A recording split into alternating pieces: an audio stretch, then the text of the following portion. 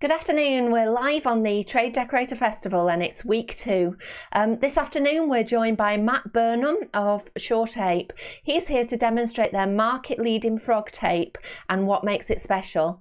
Um, we've got a demonstration coming up, and following that, Matt will actually be live with us for a Q&A to take your questions.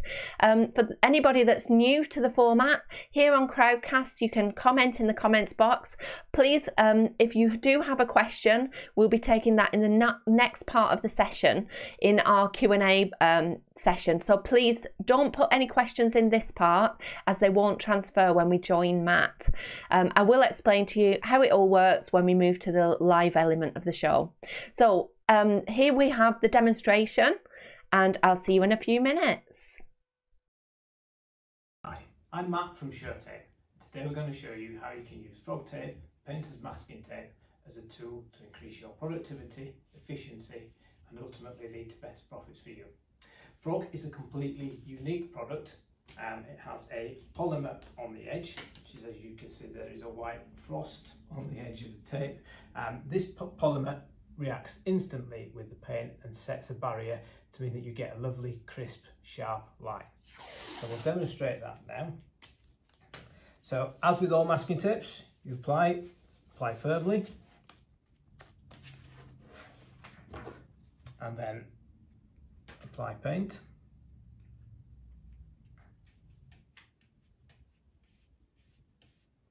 And as with all masking tapes, you should remove the paint, the tape while the paint is still wet. What's happening at the minute, a chemical reaction is taking place along the edge of the tape.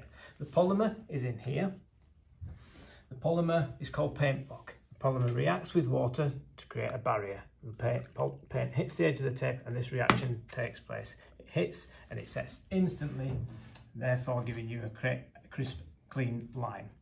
So we'll now remove the tape from there and we'll see that reveals lovely sharp lines.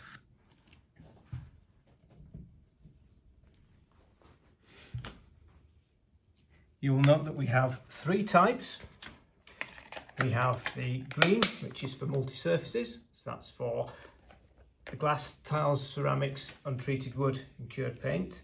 The yellow one is for delicate surfaces, so that's for wallpaper, new paint, new plaster. And the orange one is for gloss and satins paint, so when you're painting skirting boards, architraves, woodwork, things like that. Just a couple of differences between the uh, yellow and the green. So as we said, it's a delicate surface product. So that means that it treats the surface delicately um, it's a low tack tape. Again, you should remove the tape while the paint's still wet. And how we can prove that this is a low tack or a delicate surface, if you did that to a standard masking tape, then you never get it apart. But the adhesive always stays in the tape and therefore it's delicate on the surface. A couple of little tricks. If you're finding that you're getting what's known as a pull when it's damaging the surface underneath, if you heat it with a hairdryer or a heat gun, something like that, that heat will soften the adhesive and help the tape remove cleanly. You should always test on an inconspicuous area first, just to make sure that you have um, a compatible surface. The reason why Frog is uh, supplied in a box is the box is there to protect the edge of the tape. What you're using masking tape for is to get a straight line.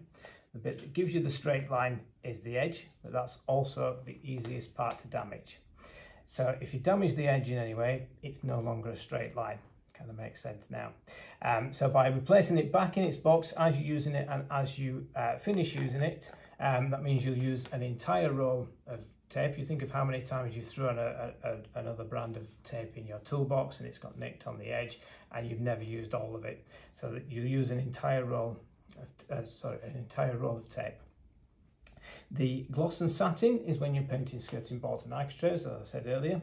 Again, little trips on that because you can have two types of paint when you're painting woodwork. So it can either be a solvent-based product where you wash your brushes out in a white spirit or a brush cleaner, or a waterborne product where you wash your brushes out in a um, soapy water.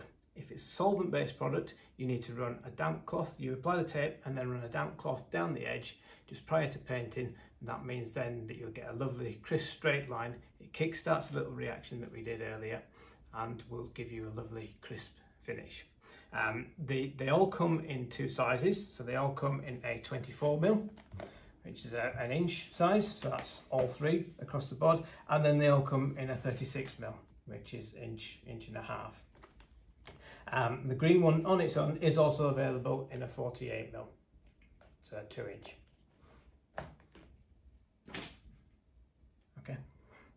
Hi, so there you have it. There's our demonstration of frog tape. Um, we're now going to be joining Matt live in our Q&A. Um, what I did forget to mention is we do have a giveaway for this show. Um, we have 10 twin packs of the delicate surface masking tape from frog tape. So we'll be doing a draw for that and watch out on our social media channels to see if you're a winner.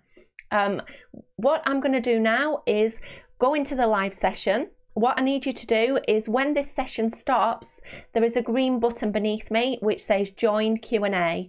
I need you to press that button. Don't press the red button that will be generated in the middle of the screen. As I say, it, you need to press the join Q&A button which is in green. Thank you. Hello everyone, thanks for joining us for the Q&A. I think we had a glitch in the system there, so apologies it took a few more seconds than it should do.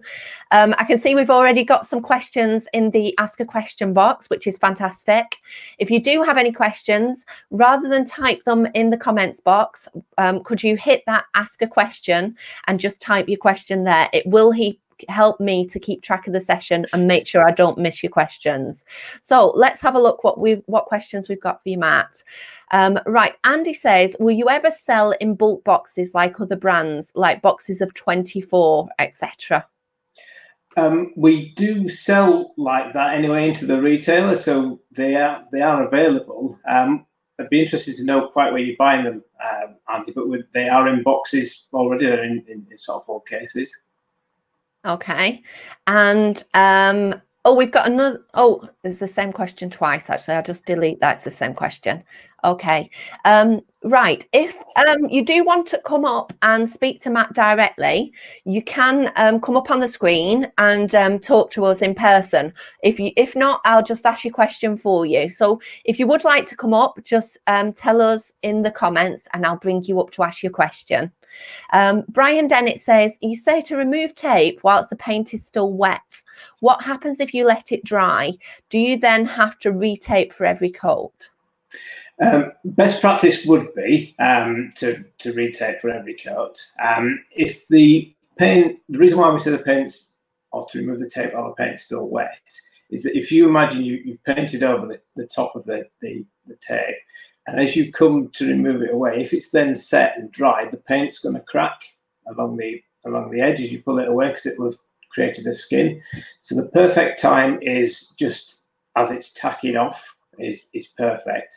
Um, but if you if you paint it with emulsion and it's resoftening again, you would be able to remove. If you if you do leave it and it's dried, one little trick that you can can do is to um, just run a blade down the edge of the tape. Um, so if we just try and demonstrate that for you now. So if we imagine that we've we've painted across here, um, and, and the paint has dried because you got called away. Um, what to do is take a good quality blade and just cut down the lead edge down there just prior to removing. That will mean that you won't get the paint breaking across this part as you remove the tape away. Okay. Okay. Okay. Thanks for that. Um, uh, just going back to Andy's question, yeah. he says um, he normally buys in Toolstation and you can only purchase in singles from the likes of Toolstation. Okay. Um, well, we are in stock in most other um, outlets as well. Um, obviously, it's up to the retailer how they sell them. We can't um, sort of tell them how to sell it. But if, for example, you were to shop at, at uh, uh, the, the, product is, is, in, is in PPG, the Johnstone's Tech Centres, um, Crowns, Duluxes, things like that. It is just about everywhere. Um, so we could always put you, maybe we take you know, your, your details, Andy, and, and, put you in touch with somebody local to you that would, would sell in a box quantity, if that helps. Okay. And um, why is frog tape different to other masking tapes, Matt? Okay, so frog is different to every other masking tape because it has a coating on the edge. So if you saw on the demonstration, there is a little white frost on the edge of the tape. So That's the polymer, which is called paint block. So paint block is a unique um, polymer which is um, licensed to Shurtape, as is also to treat the edge of the tape. So um, no other masking tape has treatment on the edge like that because that infringes our patents. So there is only frog tape with paint block and there is only frog tape with a treatment on the edge of the tape. Okay. Um, go, I think going back to Andy's question about buying in bulk, Kirsten's asking, um, can you get discount on them anywhere? I guess if you're buying in bulk. Um, it would be a case of having a chat to whoever you either normally buy it from. Um, again, the bulk quantities, I'm sure somebody local to you would potentially do do a deal. Um, we can't um, obviously tell anybody at what price to sell them. We have to let the market um, decide that. But you will find that there are promotions sort of on there, and it is up to the retailer to um, sort of communicate that to you. So you should find promotions sort of out and about there. Okay, we've got a question from Carly Phillips. Do you have any plans to make any narrower tapes like a 10 millimeter? Um, not short term, not in the frog tape. Um, be interesting to know why you would want it a little bit thinner. If anything else, we, we, we normally expect um, trade to, to want a, a, slightly thicker tape rather than a thinner one.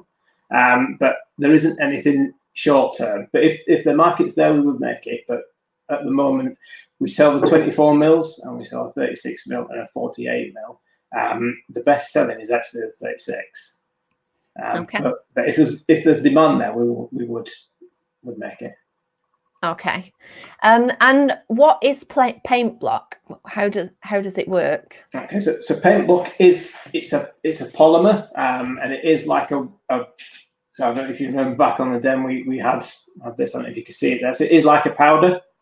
Um, so the paint block is activated by water in emulsion paint. So when the paint hits the edge of the tape, there is a chemical reaction takes place, and it's just an absorbent polymer. So as we as we hit the edge of the tape, that's now set. Huh. Um, so that's gone all the way through. See that? Okay, yeah. so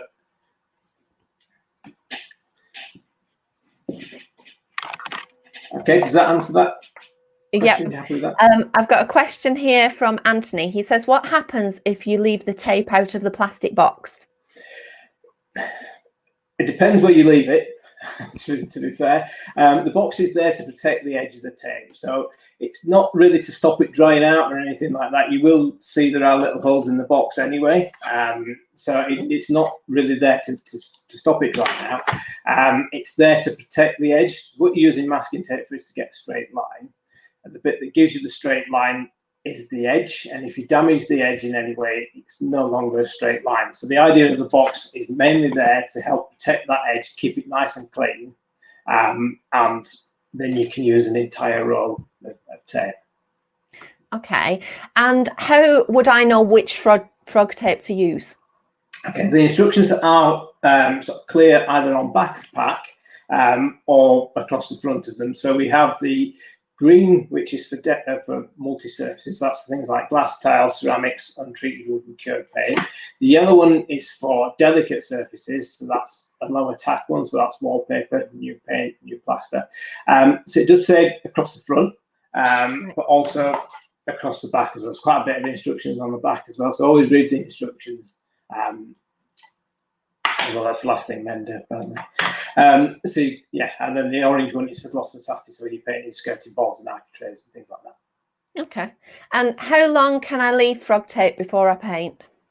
Um, you can leave, prepare, so you can leave the green one for up to 21 days. Um, so that's your sort of preparation time. Uh, so it's up to 21 days before you start getting adhesive breakdown. Um, the yellow one is a 60 day masking, so you can prepare up to 60 days uh, in front before you start getting any adhesive breakdown. And the orange is another 21 day masking. So its preparation time is 21 days. And once you've painted, uh, remove the tape as soon as you can. Okay. I was just going to say how long um, after I finish should I leave it? But you're saying it as soon as you finished, as soon as you can, you should. As soon as you can, yes, yeah. Okay, because then it's still tacky, isn't it? It's not yeah, fully yeah. pure. Okay, so um, what do I do if frog tape frog tape starts to pull the paint when I remove it? Okay, as it's if you're getting that sort of um, damage to the substrate underneath, one thing that you can do, and again, this is the same for all masking tapes. Occasionally, you do get it. Um, so it means that the the paint's not bonded to the surface in the first place. Um, but if you heat it with a hairdryer or a heat gun, that will help soften the adhesive, and it'll come away a bit better. Um, it's a general rule for most masking tapes; you'll have a very similar effect. Okay, I've got another question for you. Um, Kirsten Mitchell says, if you leave it out of the box, can you tell if the polymer has been activated? Um, you you can't, but it wouldn't. It would actually work again. Um, so it doesn't really matter, even if it's been sort of gone through the cycle once. It will it will go again. So if we if we sort of see, obviously we've done done that now, uh, and it would it would have to get really wet. It wouldn't it wouldn't just pick it up from the air. Um, but even this now, it will still it's still still absorbing there. Okay, and um, why won't frog's tape stick to my surface? Um, it would probably be down to um, contamination on the surface. So if it's any sort of dust or anything like that, then it will be sticking to the dust rather than, than the surface. Um, so best advice for that is to wipe down with um, warm soapy water, get it clean. Um, if that doesn't work, um, and they sort of step it up again, maybe use something like sugar soap. Um, but again, follow the manufacturer's instructions on the sugar soap to make sure uh, the area is, is clean from dust and, and, grease. Same for all adhesives, they need a relatively clean surface to, to stick to. Yeah. Okay, I think um, we've come to the end of our questions, unless we've got any more from our audience. Does anybody else have anything that they'd like me to put to Matt? No. Okay, Matt, do you have anything else that you'd like to tell us about frog tape before we finish? Um, I think, well, obviously go out and buy it. Um, so, um, if, guys, if you uh, best look in the uh, in the drawer. If you do have any queries or questions, we do have telephone numbers on back of pack as well. So we're always here to help um, along the way with that as well. Um, but it's where you really need that crisp straight line, then then frog tape is is the tape that you need to use. All right, perfect. Thanks ever so much for joining us, Matt. And Thank thanks everybody for joining us for the session. And I'll see you again soon. Thanks, everybody. Thank you.